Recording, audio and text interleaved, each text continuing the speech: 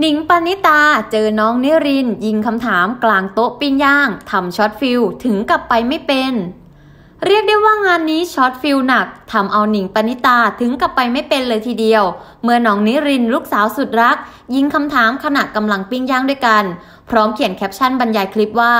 save แม่ด้วยลูกทำเอาเหล่าคนบันเทิงแห่ comment อยากรู้คำตอบ ซึ่งจากในคลิปจะเห็นได้ว่าหนิงปณิตากับน้องณิรินกำลังปิ้งย่างกัน น้องณิรินได้พูดขึ้นมาว่ามามี้ขาหนูขอถามมามี้มามี้ห้ามโกรธหนูนะคะมามี้กินปิ้งย่างใช่ไหมคะ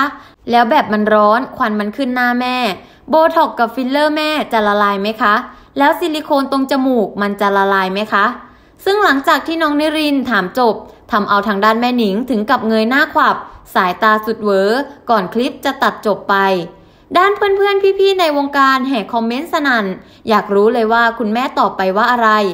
ถือเป็นอีกโมเมนต์น่ารักน่ารักระหว่างสองแม่ลูก ที่แฟนคลับบอกว่ายังชื่นใจที่แม่หนิงมีลูกสาวน่ารักน่ารัก แบบน้องเนรินอยู่เคียงข้างกัน